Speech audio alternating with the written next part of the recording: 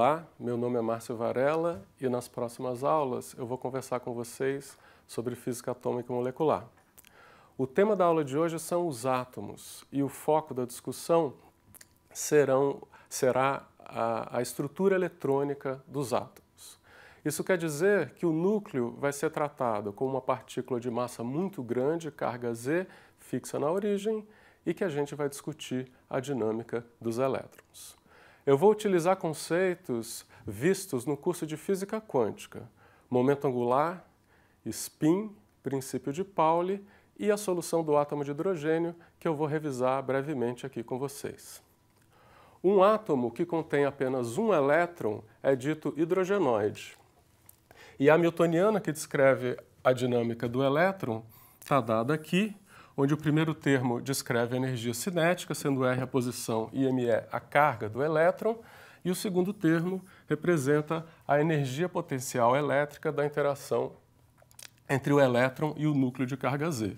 Por exemplo, Z igual a 1 para o átomo de hidrogênio, Z igual a 2 para o átomo de hélio ionizado, do qual se retirou um elétron. Na minha notação, a constante E ao quadrado é igual à carga do elétron ao quadrado dividido por 4πε0, uma constante que vocês conhecem do eletromagnetismo. É bem conhecido que as energias do átomo hidrogenoide são dadas por essa constante, que para Z igual a 1 vale menos 13,6 elétron-volt, e na minha notação, a zero é o raio de Bohr. N, que assume valores inteiros positivos é chamado de número quântico principal, de maneira que n igual a 1 representa o estado fundamental de menor energia do átomo e os outros valores representam energias de estados excitados. As autofunções do átomo hidrogenoide são chamadas de orbitais e dadas por produtos de autofunções radiais por autofunções de momento angular. Repare que os orbitais são indexados por três números quânticos: o número quântico principal, o número quântico L associado ao momento angular orbital do elétron e o número quântico m associado à projeção do momento angular sobre o eixo de quantização. Assim sendo, há mais de um orbital, mais de uma alta função para cada energia em termos gerais. Por causa disso, é comum definir que o número quântico principal define camadas eletrônicas que estão aqui indicadas e, por razões históricas, são denotadas por letras maiúsculas. K é a camada n igual a 1, L é a camada n igual a 2 e assim sucessivamente em ordem alfabética. Os valores permitidos para o número quântico de momento angular na solução do átomo hidrogenoide variam de L igual a 0 a, N, a L igual a N menos 1 e definem as subcamadas eletrônicas. Assim, as subcamadas com L igual a 0 costumam ser denotadas pela letra S, 1S, 2S, 3S e assim por diante. As subcamadas L igual a 1 por P, 2P, 3P, 4P. As subcamadas com L igual a 2 pela letra D e daí por diante em ordem alfabética F, G, H e assim sucessivamente. Não custa recordar que as projeções permitidas variam de menos L a L, de maneira que as subcamadas que têm momento angular L maior do que 1 são degeneradas. As camadas P contêm três orbitais, as D contêm cinco orbitais e assim sucessivamente. Tendo rememorado a solução do átomo hidrogenoide, o próximo passo será discutir o átomo de hélio, que contém dois elétrons. A hamiltoniana eletrônica do átomo de hélio tem um termo que pode ser entendido como uma, Hamiltoniana, uma hamiltoniana hidrogenoide para o elétron 1, quer dizer, energia cinética e interação com o núcleo do elétron 1, o hamiltoniana hidrogenoide para o elétron 2 e um termo que introduz uma novidade importante, a repulsão eletrônica, né? a interação entre os dois elétrons. Do ponto de vista matemático, isso é uma dificuldade importante porque isso acopla as variáveis R1 e R2, as coordenadas dos dois elétrons, e por causa disso a gente vai buscar uma solução aproximada para o estado fundamental do átomo. Além disso, a gente precisa levar em consideração o spin, que não era importante na discussão do átomo hidrogenoide isolado. O estado dos elétrons no átomo de hélio vai ser escrito como um produto chamado de estado spin orbital. Esse produto é um estado orbital multiplicado por um estado de spin. E também é preciso tomar cuidado porque os elétrons são férmions indistinguíveis e assim é preciso levar em consideração o princípio de Pauli. Falando inicialmente do spin, é conhecido que, que o elétron é uma partícula que tem spin 1 meio e que, portanto, admite dois estados, duas projeções, ms igual a mais ou menos meio, que a gente costuma chamar de spin para cima e spin para baixo, representados aqui dessa maneira. A soma de dois spins 1 meio, de acordo com a teoria quântica para a soma vetorial de momentos angulares, admite dois resultados possíveis, S igual a zero e S igual a 1. O estado S igual a zero, que só admite a projeção ms igual a zero, é chamado de singleto. E nesse estado, obrigatoriamente, os elétrons têm spins opostos, um para cima e o outro para baixo. Além disso, o estado de spin singleto tem a seguinte, a seguinte propriedade relacionada à permutação dos elétrons. Se você permuta os elétrons 1 e 2, o estado singleto troca de sinal. Portanto, ele é dito antissimétrico frente à operação de permutação. O outro estado de spin possível, S igual a 1, ele envolve, ele admite três projeções, ms igual a menos 1, 0 e 1, e, portanto, é chamado tripleto. Do ponto de vista da permutação dos elétrons, o estado tripleto é simétrico, porque ele preserva o sinal frente à permutação dos dois elétrons. O objetivo da gente é construir uma aproximação para o estado fundamental do átomo de hélio e, assim, em princípio, nós gostaríamos de ter dois elétrons ocupando o orbital de menor energia. Assim, eu indico o elétron 1 no orbital 1s e o elétron 2 também no orbital 1s. Esse estado orbital é claramente simétrico frente à permutação. Se eu passar o elétron 2 para cá e o elétron 1 para cá, eu continuo tendo os dois elétrons no estado 1s. O princípio de Pauli exige que o estado spin-orbital do elétron seja antissimétrico frente à permutação, o que me obriga a escolher um estado de spin antissimétrico frente à permutação, porque nesse caso, esse troca de sinal frente à permutação, esse não troca e o produto troca de sinal, respeitando o princípio de Pauli. Assim sendo, eu sou obrigado a impor um estado de spin singleto para o estado fundamental do hélio, que a gente costuma representar com essa notação. Dois elétrons ocupando o estado 1s com spins opostos, já que o estado é singleto.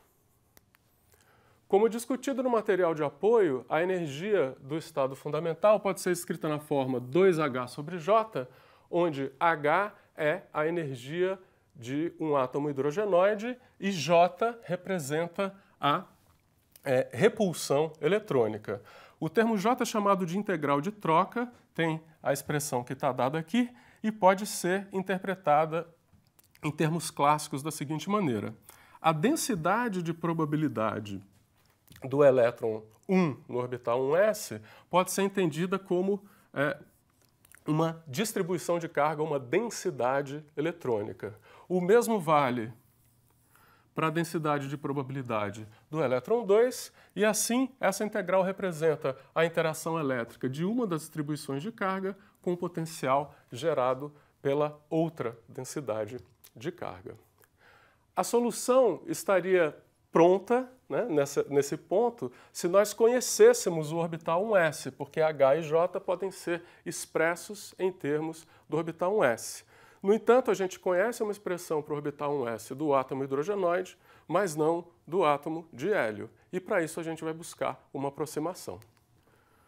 No átomo hidrogenoide, o elétron interage com um núcleo de carga Z. Já no átomo de hélio, um dos elétrons interage com um núcleo de carga Z e com o outro elétron. Assim, a gente pode construir a seguinte imagem.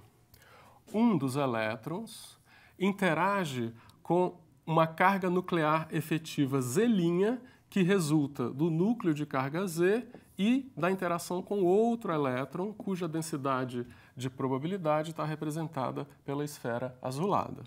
Assim, a gente vai utilizar a aproximação de que o orbital 1s para o átomo de hélio é o orbital 1s do átomo hidrogenoide, cuja expressão está dada aqui, porém escrita em termos da carga nuclear efetiva Z'. A energia do estado fundamental do átomo de hélio pode então ser obtida se a gente resolve as integrais h e j, e o resultado final, naturalmente, fica expresso em termos da carga efetiva Z'.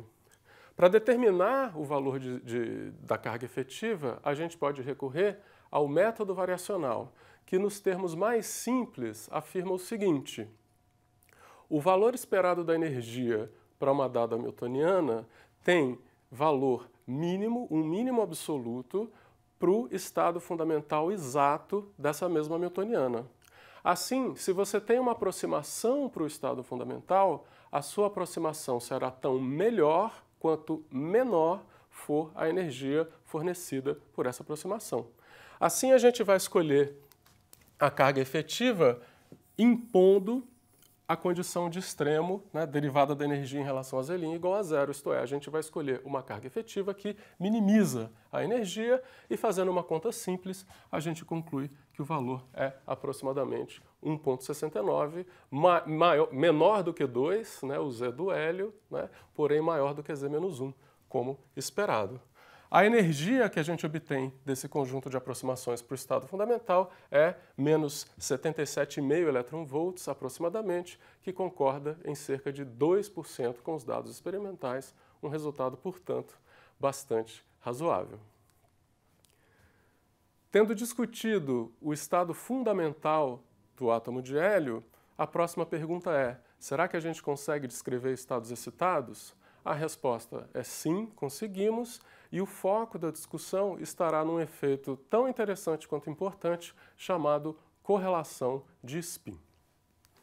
A gente pode construir estados excitados do átomo de hélio promovendo um dos elétrons do nível 1s para um nível de energia maior, 1s para 2s, 1s para 2p e assim por diante.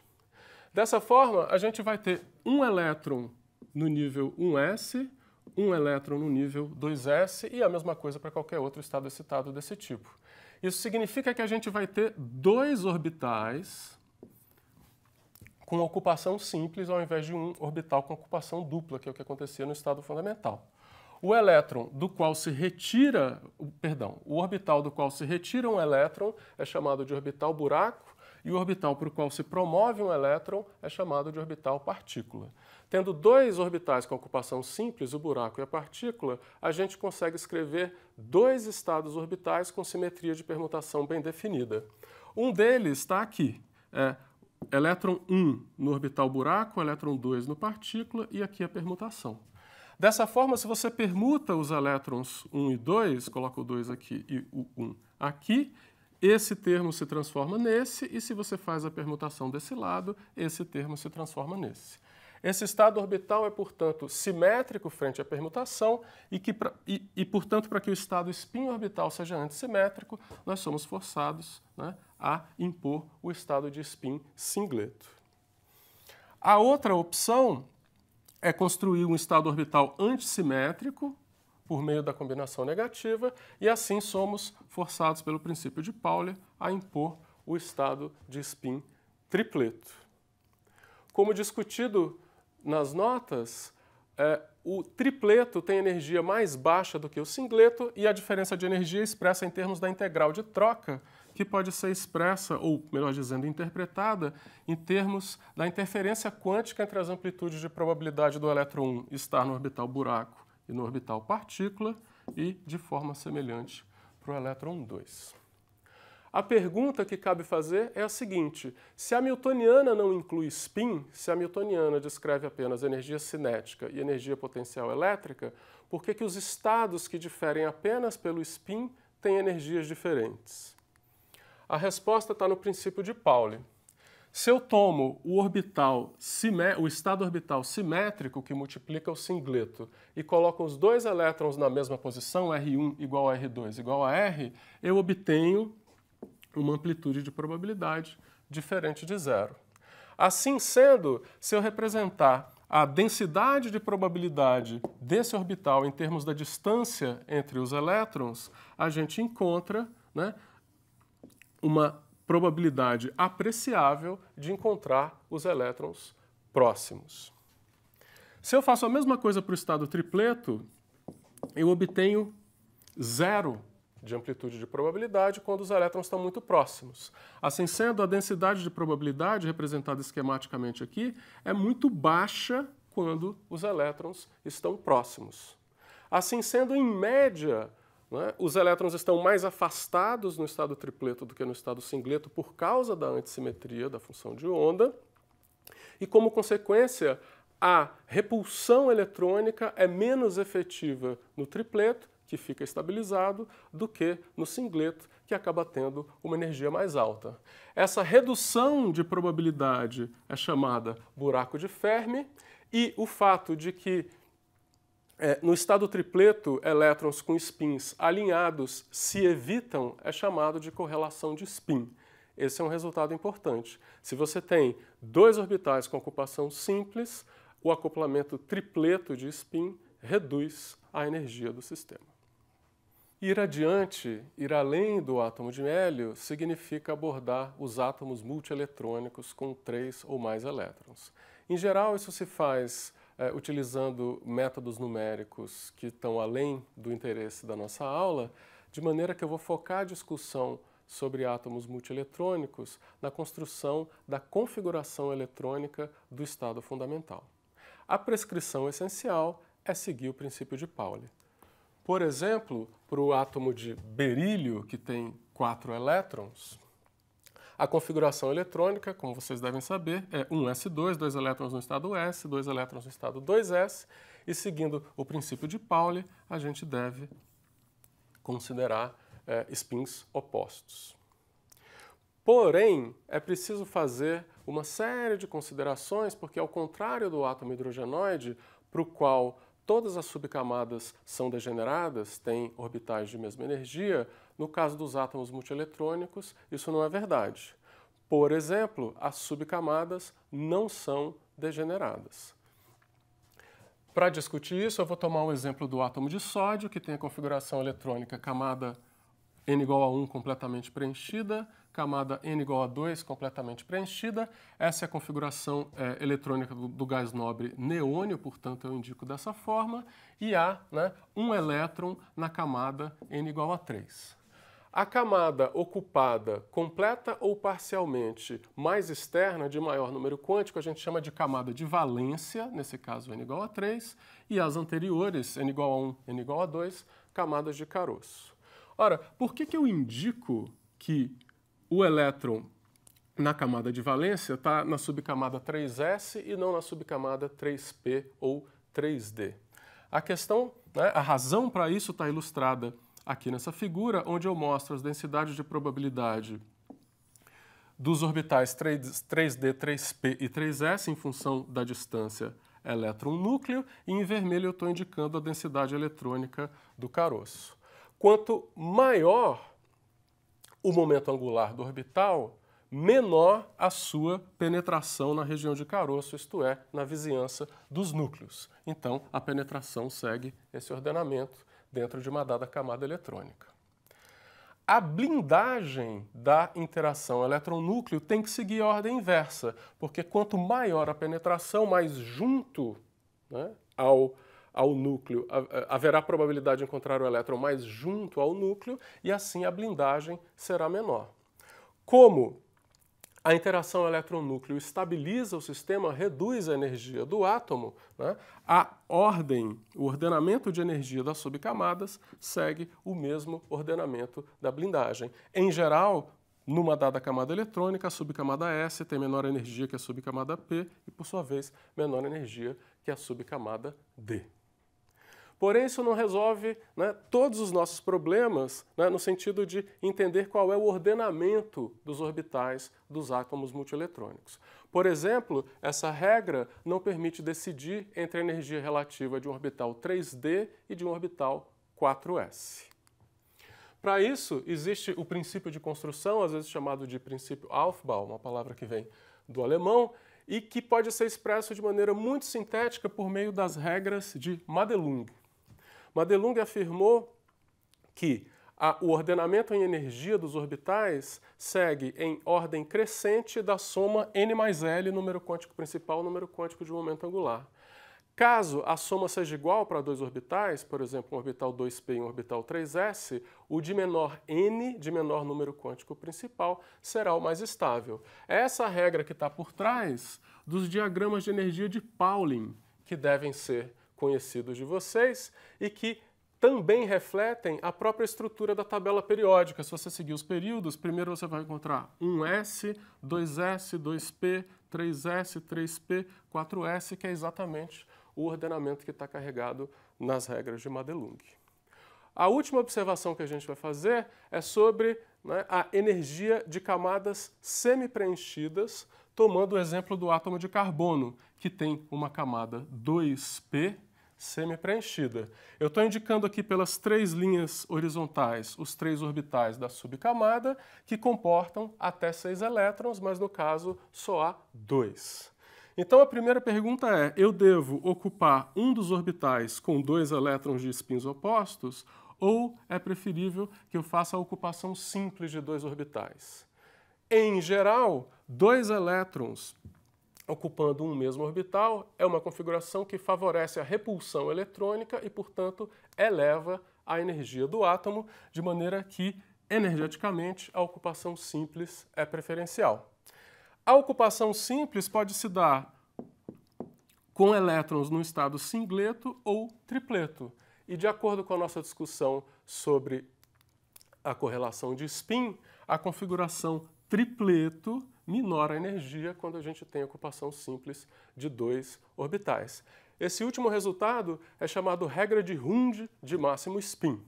Hund também estabeleceu duas regras adicionais, uma sobre o momento angular orbital dos átomos e outra sobre o momento angular total, dado pela soma dos momentos angulares de spin e orbital. Essas regras adicionais são deixadas como exercício. Por hoje a gente para por aqui e até a próxima aula.